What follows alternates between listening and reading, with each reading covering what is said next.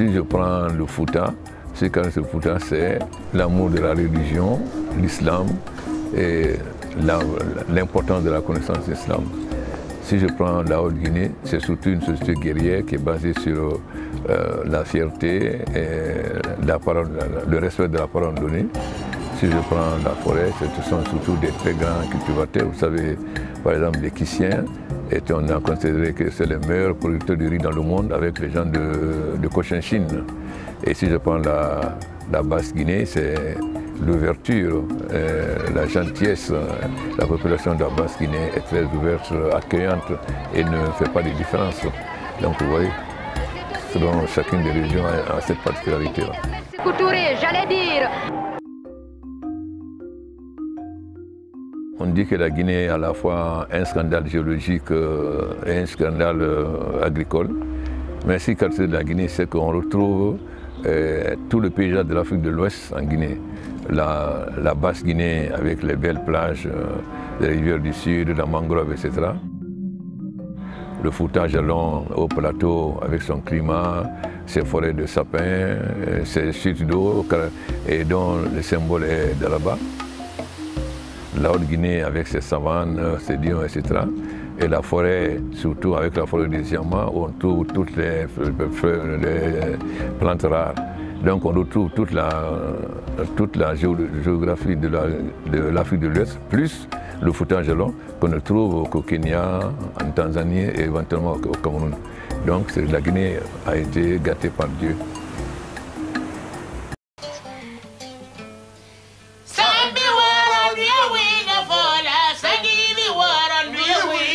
enveloppe. Mbabise, beafono, no.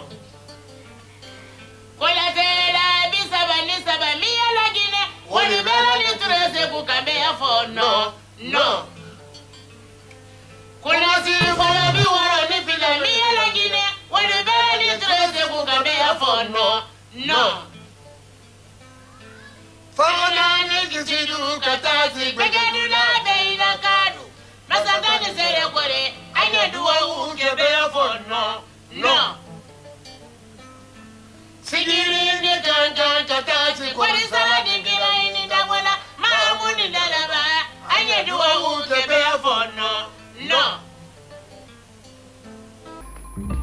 Bien que cette catégorie de personnes soit en minorité aujourd'hui chez nous, vous conviendrez avec nous que plus le carré ennemi se rétrécit, plus il est virulent et d'une subtilité diabolique.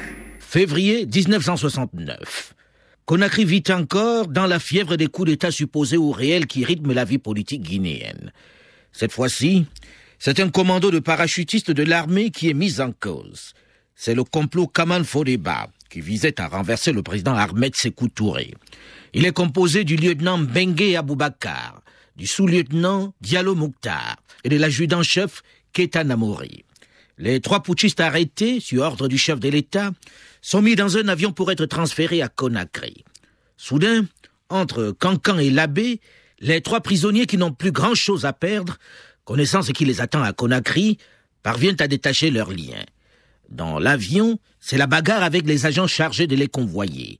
Les putschistes, les prisonniers, prennent rapidement le dessus sur leur geôlier. Puis, un des convoyeurs, un inspecteur de police, est largué de l'avion qui vole à 2000 mètres d'altitude. Le commando intime ensuite l'ordre aux pilotes de les amener au Mali voisin. Mais sans qu'ils le sachent, il va les déposer à Malia, dans Sigiri, c'est-à-dire dans une petite bourgade de Guinée avant de s'enfuir au village où les habitants vont l'aider à mettre les fugitifs aux arrêts. C'est le début d'une légende. Le jeune inspecteur largué de l'avion, Mamadou Boiro, est déclaré martyr de la Révolution. Un héros chanté dans tous les cœurs révolutionnaires. Hélas, son nom est donné à l'ancien camp de la garde républicaine, qui va devenir l'une des prisons les plus célèbres des camps de concentration d'Afrique les plus meurtriers le camp Boiro, où vont être détenus, torturés et assassinés des milliers d'opposants au régime guinéen de Sékou Touré.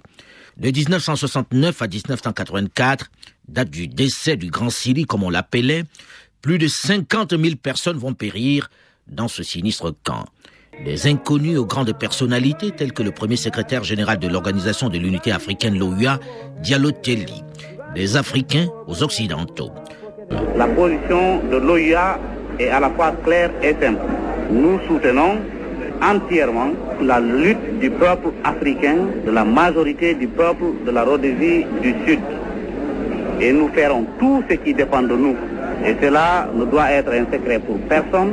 Nous sommes engagés et engagés sans réticence, engagés sans réserve à faire en sorte que le pouvoir à Rhodésie du Sud, comme dans le reste du continent africain, revienne à la majorité du peuple. Ce complot de 76 une des plus grandes personnalités de ce pays, Yaloteli. Yaloteli,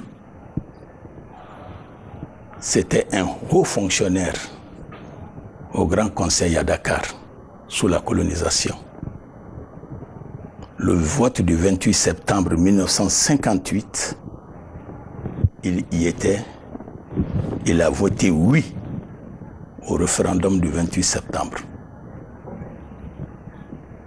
Tout comme d'autres illustres personnalités qui ont accompagné l'indépendance du président. Malgré tout,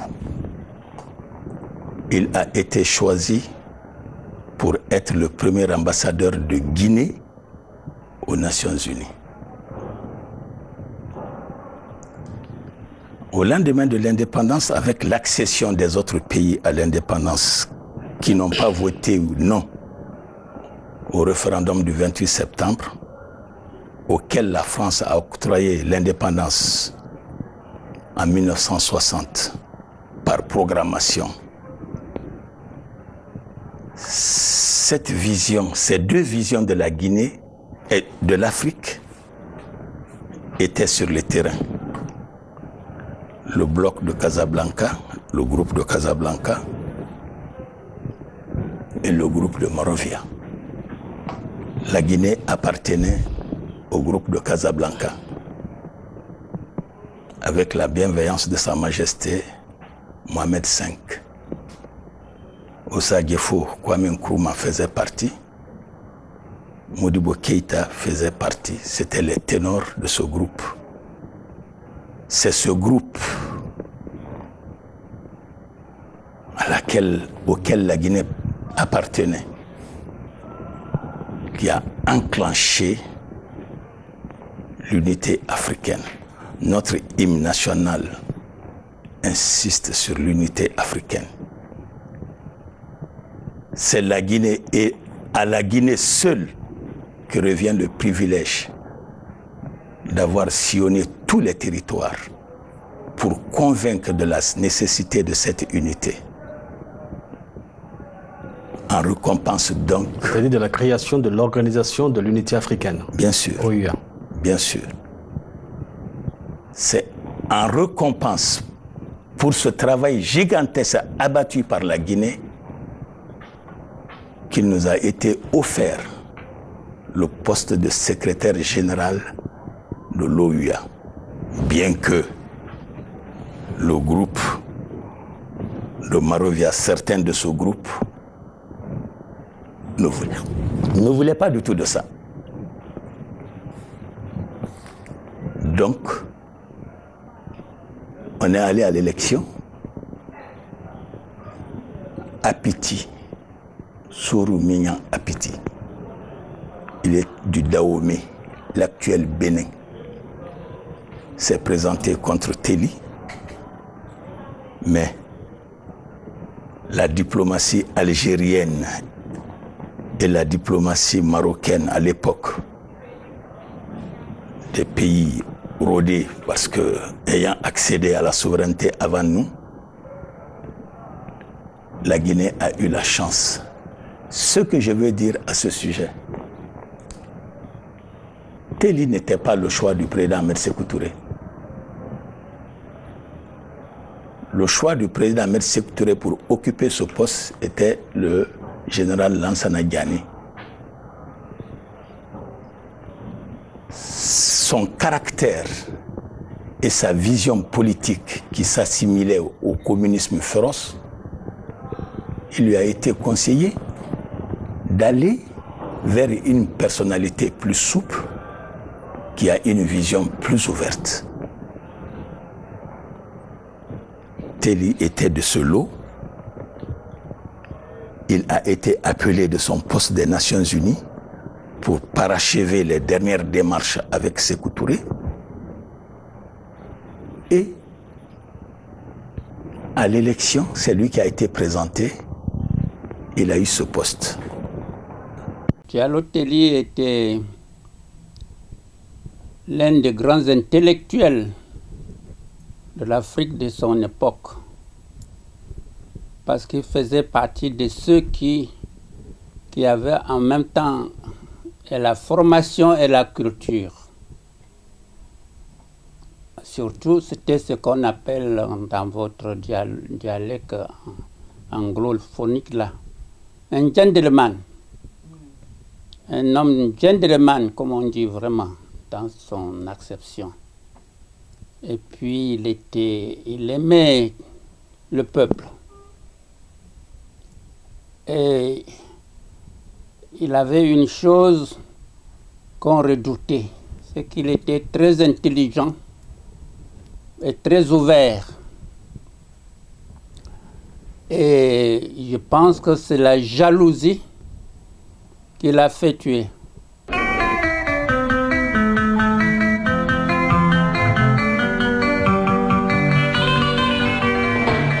Aujourd'hui de la série consacrée à Diallo Telly, qui après une remarquable carrière diplomatique, où il a tour à tour permis à son pays, la Guinée, d'être reconnu par les Nations Unies, puis occuper la prestigieuse fonction de vice-président de l'Assemblée générale de l'ONU, avant de devenir le premier secrétaire général de l'Organisation de l'Unité africaine, décide contre toute attente, à la fin de son second mandat, de retourner dans son pays malgré les conseils de prudence de ses amis et de plusieurs chefs d'État qui lui recommandaient de trouver un poste à l'extérieur.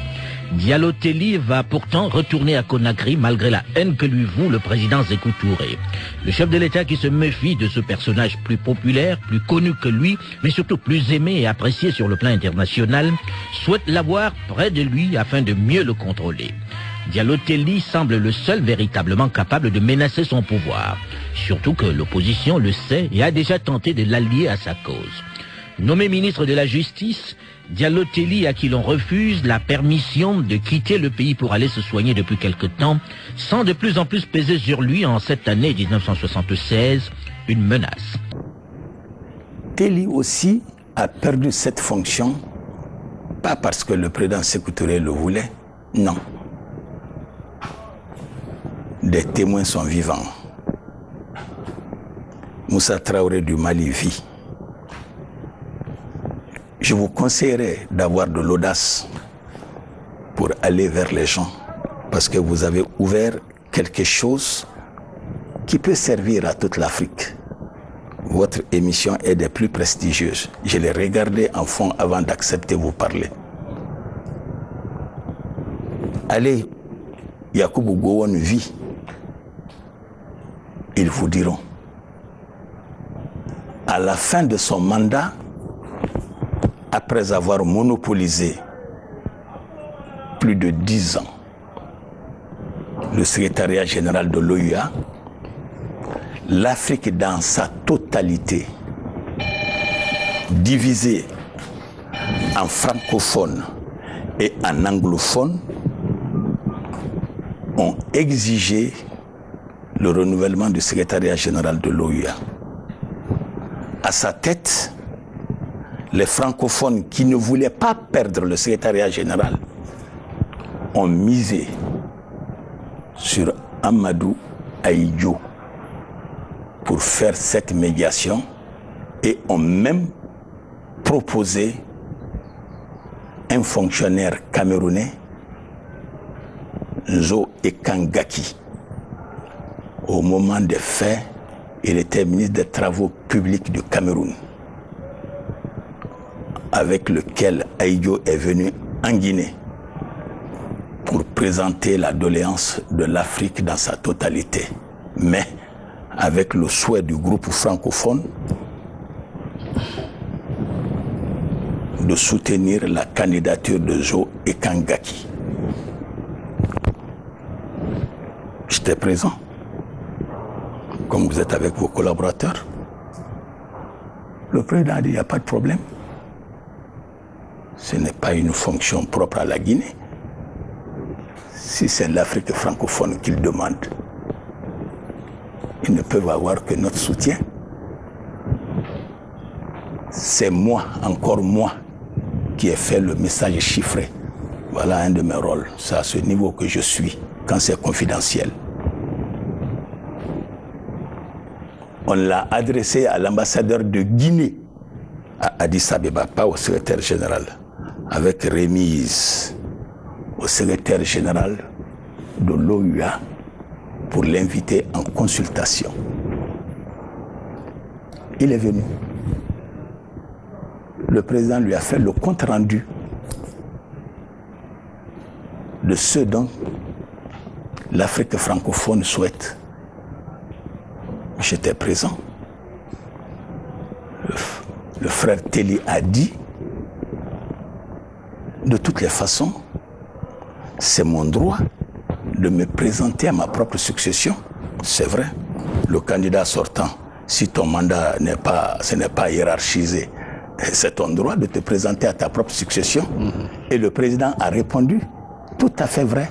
Mais il serait souhaitable que votre candidature soit soutenue par un pays, même si ce n'est pas la Guinée. C'est sur ça que cet entretien s'est achevé. Il est retourné et on a eu les élections à Rabat. Il est sorti avec Zo et Kangaki. Il n'a eu que sa voix plus deux voix. Zo Ekangaki a été élu secrétaire général, qui lui aussi a perdu sa fonction dans une affaire de commerce illicite avec une société londonienne et rhodésienne. La Rhodésie, l'actuelle Zimbabwe, étant en ce moment en lutte et que toute l'Afrique soutenait. Il a été enlevé, remplacé par William Eteki Mboumoua. Il vit. Connaît tout ce que je viens de dire. Une menace qui va se préciser jusqu'à cette soirée du 18 juillet 1976 où il est invité à dîner avec le président Sékou Touré. Moins d'une heure après avoir quitté le chef de l'État guinéen, les forces de sécurité débarquent à son domicile pour l'embarquer. Et un soir, le téléphone a sonné vers 19h. C'est moi qui ai pris. Est-ce que je veux parler à Teddy? Oui, je ai passé le Teddy.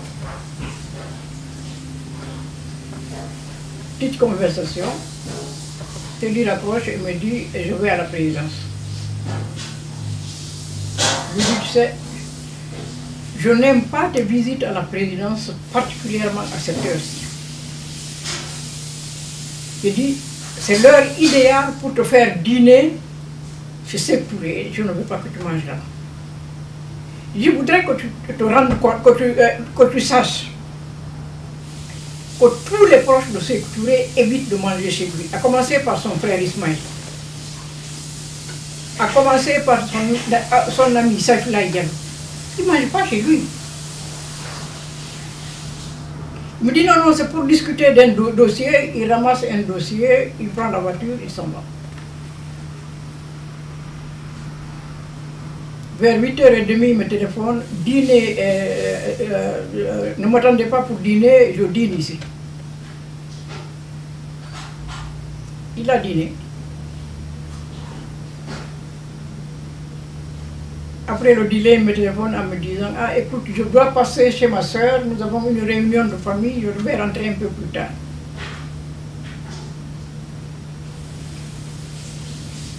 Il va chez sa soeur. Il a deux visiteurs. Et j'appelle chez sa soeur pour lui dire qu'il y a deux gouverneurs de région qui sont là, qui voudraient tout voir. Il rentre à l'intérieur euh, demain matin, il voudrait absolument te voir ce soir. Quitte la réunion de famille, il vient s'entretenir avec ces deux messieurs. Il devait peut-être 11 heures déjà, ces gens sont partis. On s'est couché. On a dormi? Vers minuit et demi, une heure, c'est sa nièce qui tape à notre porte. Car il y a des militaires à la porte. Je bondis la première.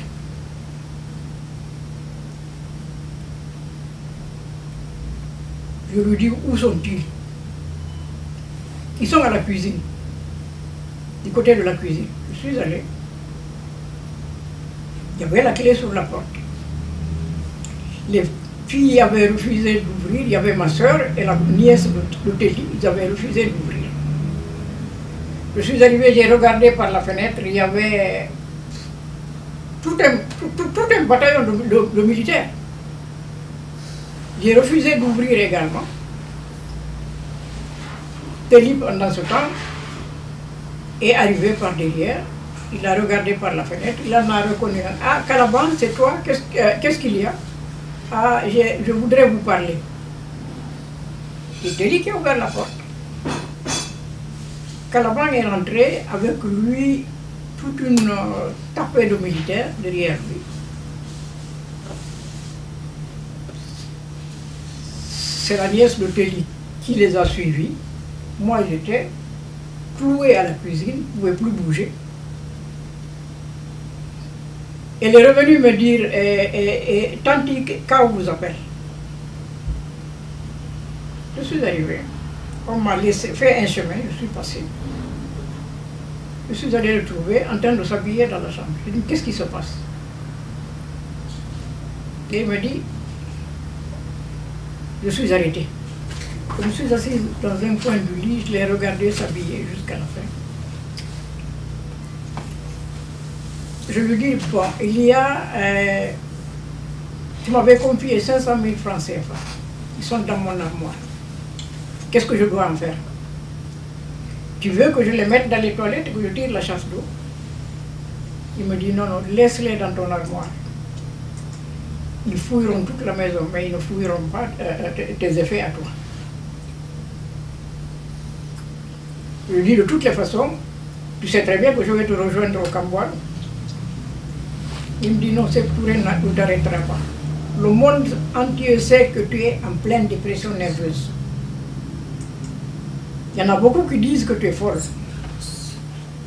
S'il t'arrête, il, est, absolument... il ne sera plus cru du tout. Or, il a besoin d'être cru. Donc, il ne te, il te pas. Ils ne fouilleront pas tes, effets. La clique des trafiquants, des affameurs du peuple, des bureaucrates malhonnêtes et des individus qui trichent avec la révolution et compromettent le bien-être des masses populaires en s'enrichissant de manière illicite mérite d'être combattu jusqu'à la reconversion des individus à la morale de la révolution. Dans un discours plein de haine et d'injures, Sékou Touré lance le 22 août 1976 un appel au génocide demandant carrément au peuple guinéen d'exterminer les Peuls.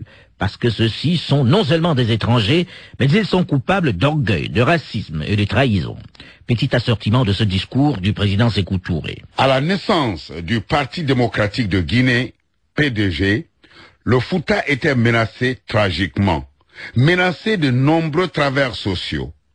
Nous avions visité cette province guinéenne de long en large et nous nous étions aperçus que l'alcoolisme menaçait réellement la population du Fouta, y compris les marabouts qui remplissaient leur bouilloire de bière ou de vin. Ne parlons pas des jeunes et encore moins des intellectuels.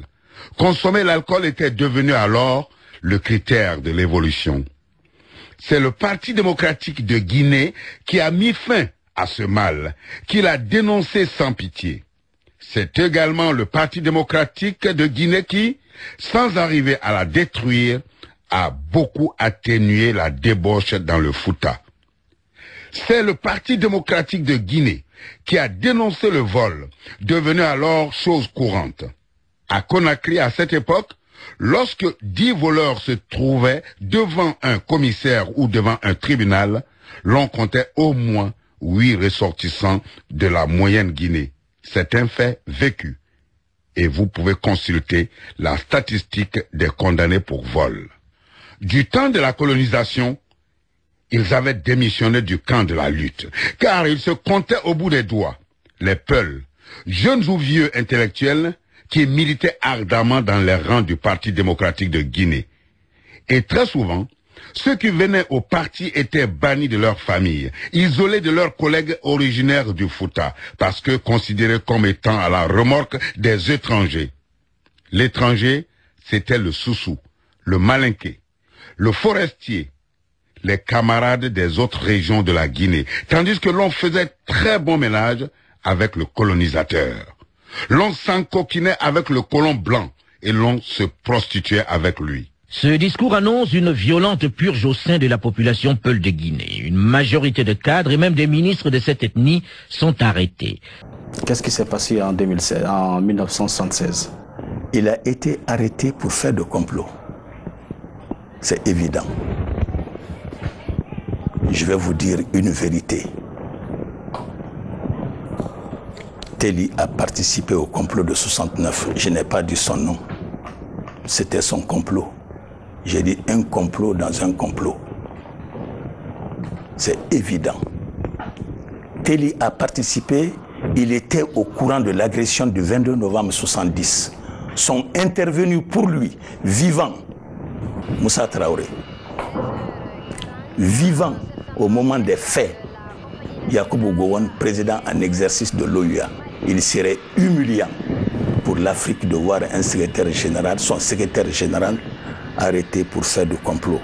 Sont intervenus Gafar El Nimeri, président du Soudan, Siad Barré, président de Somalie,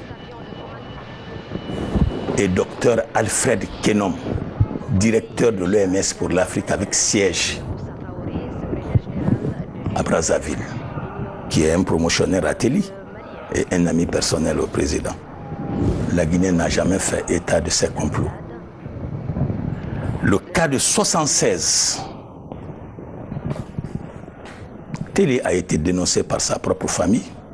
C'est évident. Son fils Kernon était assis à la dénonciation par sa maman, l'épouse de Téli. Prisonnier est totalement isolé. Tierno Diallo Telly, où étiez-vous lorsque votre père a été arrêté? Est-ce que vous avez pu le voir pendant qu'il était au Camboiro? Je suis rentré de Moscou deux semaines avant. Je suis arrivé le 25 juin. Il a été arrêté le 18 juillet. J'étais étudiant en littérature à Moscou. Êtes-vous reparti à Moscou ou bien vous êtes resté sur place à son arrestation? Non, euh, la direction des étudiants à l'étranger m'a signifié quelques jours avant la fin des vacances que mon passeport était confisqué et j'avais déjà été envoyé au Camboiro avec ma mère une semaine après son arrestation. Donc il n'était plus question de sortir. Ah, donc là s'arrêtent vos études parce que votre père a été arrêté et enfermé au Camboiro. Oui, mais ça c'était typique en Guinée. Quand on arrêtait quelqu'un, on détruisait la famille. Les oncles, les tantes de l'arrêté, la femme, les enfants, souvent ils allaient au Camboiro. Et ça, ça nous arrive. Et ma mère et moi avons été enfermés au Camboiro et mon frère au camp de la milice. Le prétexte, apparemment, nous l'avons appris 20 ans après, c'était parce qu'il refusait de coopérer et qu'on lui a dit, ben, puisque tu ne veux pas euh, répondre à nos questions et tu refuses d'enregistrer une bande magnétique, on, va on arrête Kadiatou et les enfants et tu vas voir si tu ne vas pas coopérer. Et il a immédiatement coopéré parce qu'au bout de 8 heures, on nous a libérés, on est rentré à la maison. Dès que Diadé était venu en prison, il m'avait trouvé déjà là-bas. On l'a amené directement dans ma cellule. Heureusement que j'ai pu donner à, la, à la famille il, dit, il a dit oui, je suis venu ici, si on m'a amené ici, si je, si je meurs ici, je commence à, pleurer. Il dit si, je, vais mourir ici. On ne peut pas m'amener ici et, et, me sortir vivant. Il a dit ça. Il dit malgré l'intervention des chefs d'État, puisqu'il était secrétaire général fondateur de l'unité africaine. Il croyait, lui, que, bon, ce Touré ne tuerait pas un type de connu comme ça par toute l'Afrique. Il a fait, il a fait, il m'a dit que quand je, quand je sortirai, il dit que je sais que vous ne, on vous tuera pas, mais moi je vais mourir ici. Je sortirai pas d'ici vivant. J'ai déjà donné ce témoignage. Quand Diallo Terry n'était pas seulement torturé, il, est sorti pour aller mourir. puisque quand il est arrivé, il a eu comme une parole de prophète en disant que si je suis venu ici, je sais que je ne sortirai pas vivant. Et il m'a dit, professeur, si vous sortez un jour, parce que je sais au moins que vous, vous sortirez. Je suis sûr que vous sortirez vivant, parce que vous n'êtes pas né guinéen. Ce couturé ne se permettra pas de vous tuer. Et encore, qui sait que même la France, tout ça, vous, vous soutiennent. Surtout ces couturés, ils savent que euh, c'est l'artisan des Français ici. Donc euh, vous, vous, sortirez vivant. Et son, et son frère, euh, comme ça, Siaka Touré, voilà le, chef de la, de la police, il a remplacé tout le camp par Siaka Touré, puisque c'est Siaka Touré qui m'a mené dans la cabine technique, comme on appelle. La cabine technique, c'était de te mettre le clou entre les mains, comme ça, et puis t'attacher derrière et le sang monter pour aller. Nos, doigts étaient comme un, une banane. Et après quelques jours de torture, dont un passage à la cabine technique, il a craqué et lu les aveux que lui ont proposés les membres du comité révolutionnaire chargé de l'interroger. Même si ces aveux, diffusés sur la puissante et très écoutée radio nationale, comportent de nombreuses incohérences, ils sont suffisants pour corroborer, pour confirmer le fameux complot Peul dont parle le président Sékou Touré. La guerre est désormais déclarée à toute une ethnie, les Peuls, et les mots pour le faire savoir sont sans ambiguïté. Ils ne voulaient pas de l'indépendance, ces Peuls. C'est la déclaration de guerre. Ils veulent d'une guerre raciale. Eh bien, nous, nous sommes prêts. Quant à nous, nous sommes d'accord et nous les anéantirons immédiatement. Pour ceux qui sont à l'extérieur, nous n'avions pas voulu jusqu'ici les liquider. Mais nous allons le faire désormais pour que notre peuple vive en paix. Nous ajoutons que vendredi prochain, 27 août, dans les mosquées de chaque PRL, la Fatia sera récitée collectivement pour maudire les racistes et les conduire à l'échec retentissant, pour maudire ceux qui les soutiennent en Côte d'Ivoire, au Sénégal et dans le monde, afin qu'ils aient toujours honte. Il faut que partout où celui-ci remue la tête ou la queue, partout où il présente le nez ou les oreilles, l'arme de la révolution soit là, prête à lui couper la tête, les bras, les jambes, la queue, en un mot, à le démantibuler complètement. Téli a été dénoncé par un certain Amadou Diallo qui a écrit un livre, La mort de Téli. Ce Amadou Diallo était un agent double de la DGSE française. Il était étudiant à Orléans quand il a été recruté. Il est rentré en Guinée par l'Algérie et il est venu jusqu'à nos bureaux sur recommandation. J'étais le nom des recommandés, mais je pourrais vous les donner confidentiellement. Vous pouvez les contacter. Il y a un qui vit actuellement en Guinée. Vous pouvez le contacter et vous notifiera ce que je viens de dire. Quand il est arrivé, sa première audience, c'est moi qui le lui ai donné pour rencontrer le président. L'entretien a été tellement intéressant entre les deux que je n'ai plus eu à le gérer. Je l'ai vu fonctionnaire au niveau de la Sogifab. Les anciens directeurs de Sogifab sont là, hein, ses premières victimes.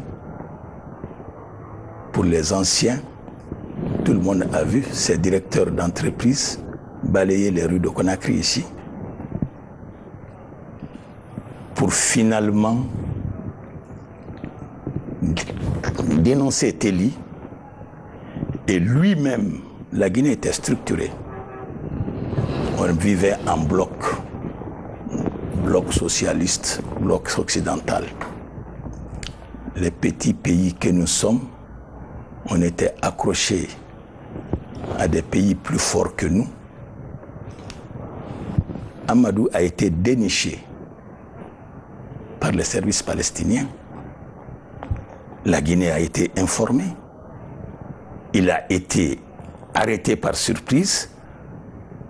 On a trouvé avec lui un stylo, même un pistolet, qu'il a déclaré être son arme qu'il pouvait utiliser à temps utile pour abattre le président. C'est ce Amadou Diallo qui a dénoncé Téli. C'est ce Amadou Diallo qui a dénoncé le capitaine Lamine Kouyaté, officier d'ordonnance au moment des faits à la présidente de la République. C'est ce Amadou Diallo qui a dénoncé Sekou Filo Kamara, un professeur de philosophie, au moment des faits, ambassadeur de Guinée à Alger. Voilà la réalité des choses. On n'a pas à s'en cacher. La vérité n'appartient à personne. J'ai dit, il y a des victimes malheureuses. Je le reconnais. Mais nier les complots guinéens, ça rentre dans le mépris. Nier aussi qu'il n'y a pas eu de victimes malheureuses, c'est encore nier la vérité. Je dis, je répète, malédiction à celui qui hérite de la haine, de la rancune et de la guerre et qui en fait un moyen de survie.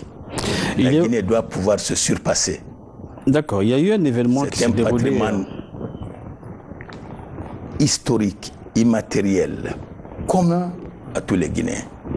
Moi-même qui vous parle. Des parents à moi sont restés dans le Camboiro.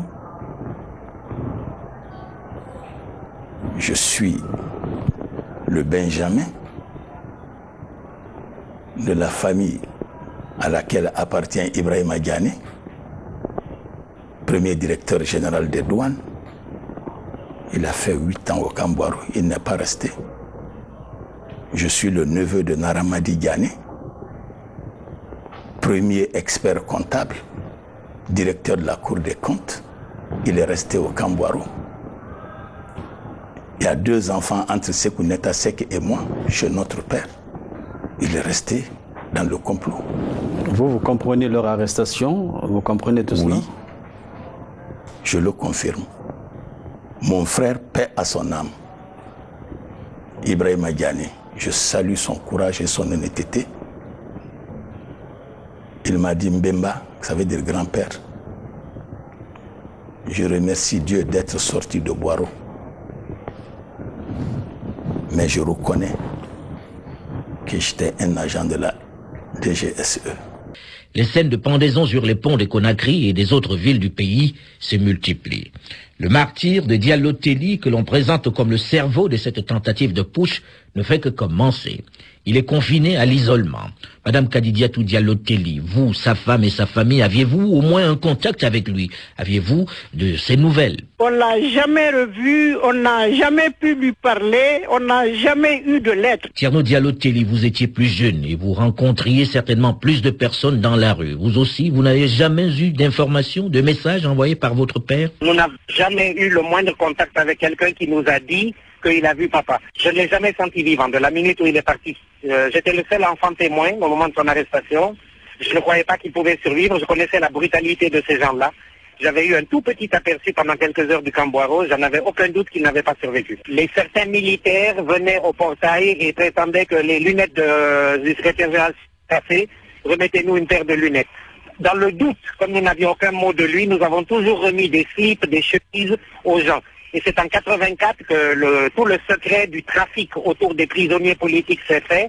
Quand on a ouvert le Camboiro, il y a des veuves qui ont dit, mais non, la semaine dernière, on m'a demandé de envoyer des chemises, alors que le mari était en fait mort depuis plusieurs dizaines d'années dans certains cas. Jusque dans sa prison, Sékou Touré continue de faire pression sur Diallo Tellu. Il lui écrit souvent.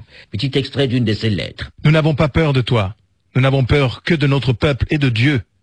Nous pouvions te faire arrêter à l'aube de notre indépendance. Nous ne l'avons pas encore fait malgré ton comportement anti-peuple. Nous pensions qu'il nous appartenait de te donner la chance de te racheter aux yeux de notre peuple et de sa glorieuse histoire. Jusqu'ici, nous continuons à penser que rien n'est perdu pour toi, car si ton apport au parti a été jugé très insuffisant depuis notre indépendance, là où tu es aujourd'hui, tu peux faire des livres pour rendre service à ce parti qui t'a grandi. L'idéologie de notre parti n'étant pas une idéologie figée, nous te demandons de nous préciser exactement le rôle que tu pourrais jouer pour notre pays, largement ouvert sur le reste du monde. En vantant tes mérites créés de toutes pièces, la presse réactionnaire compromet la visite que le nouveau président de la République française a accepté de rendre à notre peuple. Désormais, ton sort est lié à ta sincérité pour le parti État de Guinée. En pensant que pour une fois tu sauras te mettre aux côtés de notre peuple, nous te rappelons que tu es encore utile à ta famille, prêt à la révolution. Diallo Telli, qui trouve désormais son reconfort dans l'islam, ne se fait aucune illusion sur son sort. Et c'est donc sans détour qu'il répond aux lettres du président Zékou Touré. Petit extrait d'une de ses lettres. L'histoire nous a montré que tous les régimes dont l'assise repose sur le mensonge et la force périssent par la force. Ce soulèvement populaire qui te hante, je ne l'ai jamais souhaité pour mon pays, mais il est inévitable. Il a été obtenu de moi une déposition dans laquelle je devais être président de la République de Guinée à la suite d'un coup de force. Très sincèrement entre nous, soyons sérieux. Tu sais que j'ignore tout ce scénario. Depuis que je suis dans la cellule 54 au Camboiro, mon seul souci est de savoir comment trouver la voix de mon Créateur. Pour cela, je m'emploie à le prier pour implorer son pardon. Fin de citation. Dans sa dernière lettre du 13 janvier 1977, écrite en réponse à celle qui lui a été adressée quelques jours plus tôt par le président Sékou Touré, il termine en disant je crois que pour des raisons qui te sont personnelles et que je ne veux pas évoquer ici, tu vas épargner à nos familles l'horreur de notre mort publique par pendaison ou fusillade. Mais je t'ai découvert à Boireau et tout laisse penser que mes jours sont désormais comptés. Depuis, je suis à cheval entre ce monde régi par ton humeur et celui où Allah, notre créateur commun, nous attend tous les deux. Étant musulman pratiquant, je ne me suiciderai pas. Je répondrai à l'appel d'Allah par mes sommaires prières. Le moment venu, je te demande de faire vérifier si mon comportement a bien été celui que je dis. Vive la justice et la liberté. Un mois après cette dernière lettre, le 12 février 1977, en milieu d'après-midi, alors que les prisonniers vaquent à leur corvée traditionnelle, ils entendent un signal qui annonce traditionnellement des moments difficiles. Barrage, barrage, barrage. Ceci signifie que tous les prisonniers doivent regagner immédiatement leurs cellules et qu'elles doivent être désormais hermétiquement fermées. L'adjudant-chef Mamadou Fofana fait vider de leurs modestes affaires personnelles les cellules du docteur Alpha Oumar Bari, Si Savané Suleiman, Diallo et le capitaine Lamine Kouyaté. La lettre D, signifiant diète noire, est tracée sur leur porte, ce qui signifie qu'en fait, ils sont condamnés à ne recevoir ni nourriture, ni eau, ni soins, jusqu'à ce que mort s'en suive. Un supplice lorsque l'on sait que dans la journée, en Guinée, à Conakry, la température dépasse parfois 46 degrés. Quatre jours après, la diète noire est interrompue pour six savanés qui est remplacé dans sa cellule par Alioune Dramé. Diallo Telli, quant à lui, voit son supplice aggravé puisqu'il est transféré à la cellule 52. Fadama, le chef de poste central, estime que le bas de porte de la cellule 54, rongé par la rouille, laisse passer l'air, et quelqu'un pourrait y glisser de la nourriture ou de l'eau. Le 1er mars 1977, au petit matin, Diallo Telli décède de suite de la diète noire. Siaka Touré, le chef de camp, informé, rend immédiatement compte au président Sékou Touré. Porto Salva Abdoulaye Diallo, vous étiez prisonnier dans ce fameux camp Boiro à cette date-là. Et même si vous étiez tous enfermés, vous voyiez et saviez, grâce aux guetteurs et même à certains de vos gardes, ce qui s'y passait. Alors, après que l'on ait constaté son décès, qu'est-ce qui se passe ensuite? On l'a mis dans une couverture et sale et la, une ambulance, une espèce de jeep est venue pour aller le, le déposer dans un des, comment dirais-je charniers. Des, des charniers, exactement, vous me passez le mot. Un des nombreux charniers situés dans la banlieue de Conakry. Diallo Telli y est enterré discrètement, sans cérémonie religieuse. Quelques jours après, Sékou Touré va venir personnellement, nuitamment, vérifier que le corps qui est enterré est bien le sien. Tierno Diallo Telli, vous avez pu vérifier cette information? Le dernier maire qui était en poste dans le quartier de Nongo à l'époque. Euh, la- L'association des enfants des victimes du Camboiro l'a enregistré sur euh, film, nous racontant comment Sékou Touré est passé le chercher dans la nuit du 1er mars 1977 en lui disant accompagne-moi. Ils sont arrivés quelque part dans Nongo. Et la nuit, donc ce vieux monsieur ne se rappelle pas où exactement. Dans Nongo. C'est un quartier périphérique. Et là, il y avait des militaires à la lumière de torches et de lampes tempêtes qui avaient creusé un trou. Les deux, Sékou Touré et le maire, se sont pieds sur le trou. Et le maire a été terrorisé. Il a vu le corps d'un homme qui était dans une, chemisette et une culotte bleue, qui est bleu marine, qui est la tenue connue des prisonniers politiques. Et il lui dit, tu vois l'homme au fond du trou là? Le maire dit oui. Il dit, ça c'est le premier secrétaire général de l'OUA. Nous avons aujourd'hui un témoin vivant qui l'a déjà dit à la presse et qui nous, l'a répété à nous-mêmes. Euh, pour besoin d'archives, nous l'avons enregistré sur film. Il y, a, euh, euh, des événements qui ont marqué l'histoire du, du PDG. Il y a notamment ce, ce jour où le régime a été véritablement ébranlé. C'était le 27 août euh, 1977 par la révolte des femmes. Est-ce que vous, de la police, vous avez été surpris par cela? Comment ça s'est passé? Comment vous avez géré? Ça, quand même, on a été surpris.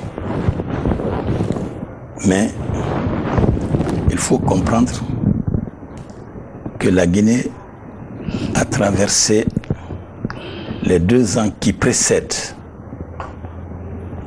77, la Guinée a traversé des moments très difficiles. Shaitan 75, Satan 76. Les conditions de vie des Guinéens étaient très difficiles. C'est Chétan qui avait rendu les conditions de vie difficiles ou bien la gestion Non, non. du... La cherté de vie. D'où venait la cherté de vie? La Pourquoi avait cherté de... Vous savez, On avait, le commerce avait été interdit, disons les mots. Il y avait beaucoup de restrictions à ce moment-là. Est-ce que c'est pas ce qui a généré cette euh, situation un peu catastrophique, euh, situation économique catastrophique euh, dans les ménages au niveau national même? Non. D'accord. Le sac de riz sous la Première République n'a jamais excédé 900 silis. Chaque militant, de quelque hiérarchie qu'il soit, avait 9 kilos de riz par mois par personne et avait un carnet de ravitaillement. Le sucre était dedans, le lait était dedans, tout ce qui est nécessaire à la consommation était dedans. Notre position, malgré nos richesses, ne nous ont pas permis de nous développer. Il ne faut pas se tromper. La Guinée était coincée par-ci, par-là. La Côte d'Ivoire nous voulait la mort. Le Sénégal nous voulait la mort. Non, disons, le président, on avait maille à Attendez. partir avec le président sénégalais, Attendez, avec le président attendez, ivoirien. Attendez. Non, Chaque... je ne veux pas qu'on résume au peuple sénégalais, au peuple ivoirien. non. Voilà. Il Vous faut- non, vous dissertez mal. Voilà. Mais la direction des affaires appartient à qui? Voilà, au président. Et Voilà. quand le président exerce le pouvoir, D'accord. La gestion des frontières, le déploiement des unités de défense, c'est le peuple. Ça, c'est le responsable du peuple qui fait. Nous voulons fermer les frontières tout de suite, ce n'est pas le peuple qui va fermer. Il suffit un acte administratif. C'est ça la réalité des choses. Donc notre situation géographique. Notre situation était de la survie. Parce qu'on était enterré qu'avec des ennemis. Et nous avions hébergé tous les mouvements de libération, y compris le PAIGC qui avait sa base en Guinée. Tous les autres mouvements, le MPLA, le NETO, le Frélimo, Le SWAPO. SWAPO, l'ANC, tous gravitaient ici. La Guinée était une menace pour l'Occident. D'ailleurs, les raisons économiques et les raisons politiques, on peut les évoquer dans ce débat, qui ont amené cette agression. Pourquoi le Portugal? Parce que tout simplement le Portugal trouvait intérêt à finir définitivement avec le PAIGC qui était là. Amilcar Cabral était avec nous, Aristides Pereira était nous. Nino même était là, Tchun était là, etc., etc., etc. Tous les dirigeants du PIGC étaient ici. On a même participé au combat. C'est un des prestiges qu'a tiré le président Conté quand il était simple soldat sur les fonds, commandant du camp de Boki. Donc, on était coincé de partout. On a survécu par troc. La richesse de la Guinée a été troquée pour que nous obtenions. Le litre d'essence était à 10 cili, 100 francs, base normale. Mais dans ça, il faut le reconnaître, il y avait le trafic. Shaitan, c'était qui? C'était le trafiquant? Non, la période a été baptisée de Shaitan, ça touche les trafiquants, qui prenaient justement ces importations destinées à la population pour être vendues hors du territoire des fois par personnes interposées à l'intérieur du pays. Donc, Cette lutte a permis de bloquer la circulation des grains entre Conakry et l'intérieur, si ce n'est pas de façon officielle. Il est évident que cela a amené la rareté. Pourquoi j'ai dit qu'on a été surpris par le 27 août? C'est un paquet de sucre qu'une bonne dame avec son, son bébé avait au marché Mbalia. Un milicien s'est attaqué à elle pour ce paquet de sucre. Son bébé a failli tomber. Ça a généré une révolte au marché et les femmes se sont dirigées directement sur la présidente de la République. C'était un prétexte, quoi. Il y a quelque chose. euh, C'est ce que j'ai dit. J'ai dit la cherté. Ah ouais. J'ai les résumés. J'ai dit, il y avait, j'ai dit, vous ne pouvez pas expliquer le 27 août sans parler de Shaitan 75, Shaitan 76, qui sont l'expression de la Alors, cherté comment de vie. le en président a. Comment vous l'avez informé? On ne l'a pas informé. Quand les femmes ont commencé à marcher en direction du palais présidentiel, les services de sécurité ont téléphoné à Conakry, c'est-à-dire Kalou. Cette partie, c'était la banlieue. C'est encore la banlieue d'ailleurs. On le dit maintenant rarement. C'est vous qui le connaissez, les jeunes ne savent pas que c'était la banlieue. Tout est Conakry maintenant.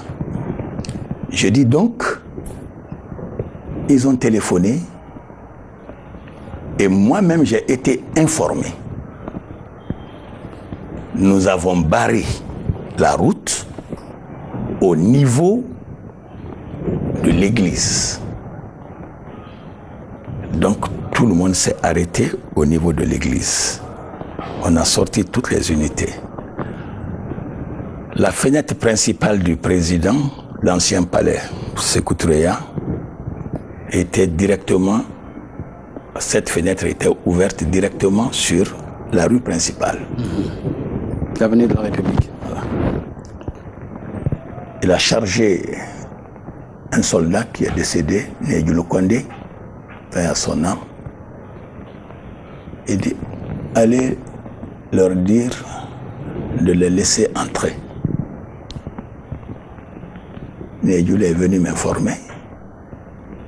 Fodé Doumbia qui avait la responsabilité de ça, nous lui avons ordonné de laisser les femmes entrer.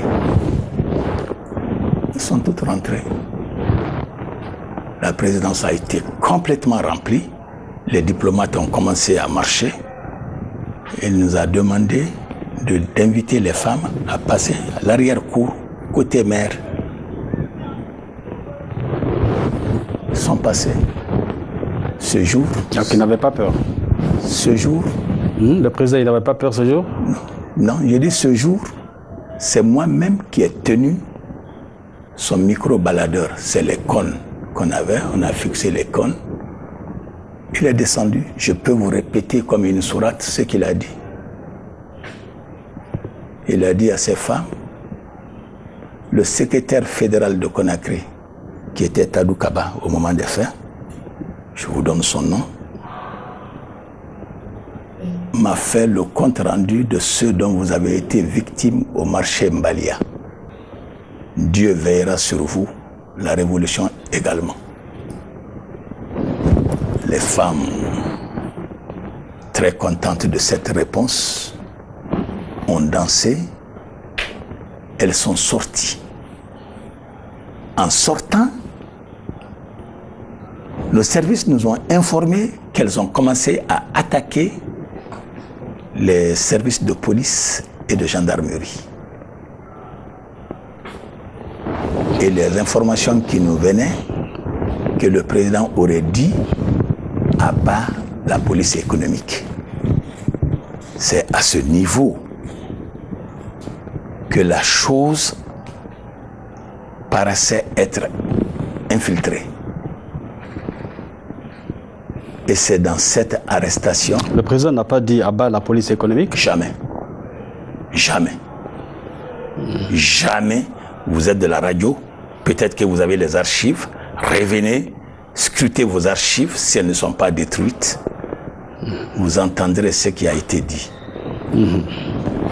Donc, devant cette situation, finalement,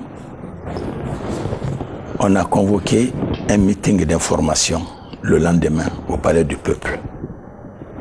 C'est ce qui a dégénéré dans la grande violence. Les femmes ont crié. On a été obligé d'exfiltrer le président en le mettant dans un véhicule banalisé. Qui que voulaient les femmes ce jour-là? Ce jour-là exactement Non, elles se seraient jetées sur elle. Sur, euh... sur le président, sur tout le monde. Parce que l'atmosphère était pas bonne mais ça a été vite maîtrisé et on l'a envoyé, on l'a exfiltré. On l'a exfiltré, il est passé sur la corniche où il y a tombeau là, où il y a l'énergie. Et moi-même, j'étais dans sa voiture de commandement, j'ai pris l'axe normal. Elles m'ont bloqué. Amakui, fort. Et avant qu'elle n'arrive, nous on était déjà là-bas les dispositions ont été prises. On n'avait pas de grenades lacrymogènes. C'est avec les fusils qu'on a fait les sommations. Il y a eu une victime à Coronti, un enfant, un adolescent. Il a été tué par une, une balle perdue. Le lendemain, le surlendemain, le président et nous-mêmes, nous avons été dans cette famille présenter les condoléances. Voilà. Est-ce que le président a compris ce jour-là que quelque chose n'allait pas dans la cité Si. Qu'est-ce qu'il a compris? C'est ce jour-là d'ailleurs que la libéralisation de la circulation des grains a été presque autorisée jusqu'à la fin du régime. On n'est pas revenu sur ça. Hmm. Et les choses aussi se sont accélérées parce qu'en 78, il y a eu la véritable réconciliation avec Oufoué-Boigny, Senghor, Amarovia. La première réconciliation était en 72, qui n'a pas marché. Les exigences étaient fortes. La Guinée exigeait la remise des agents de cinquième colonne entretenus par la Côte d'Ivoire et le Sénégal. La Gambie a donné ses hommes, mais Senghor n'a pas donné, Oufoué n'a pas donné. La première réconciliation, comme le plus gros lot était à Dakar, la première tentative donc de réconciliation présidée par l'empereur Haïlé Sélassié. Il y avait dans cette mission le même Aïdjo, Moussa Traouri, Mokhtar Ouldada, Kairaba Diawara, Wari Boumedienne, etc., etc. La Guinée a eu raison, mais les exigences étaient tellement fortes que Senghor ne pouvait pas livrer ces choses. Et il a quitté cette réunion sans qu'on soit parvenu à une solution. Il est rentré, ce n'est que six ans après, en 78, que les deux ont été rassemblés dans la même ville, à Marovia, pour définitivement sceller la réconciliation. Et en 78, avant, le président Sékou Touré même a fait un déplacement historique à Yamsoukro C'est d'ailleurs à la faveur de ça que Salif Keita a composé sa chanson fétiche Mandiou.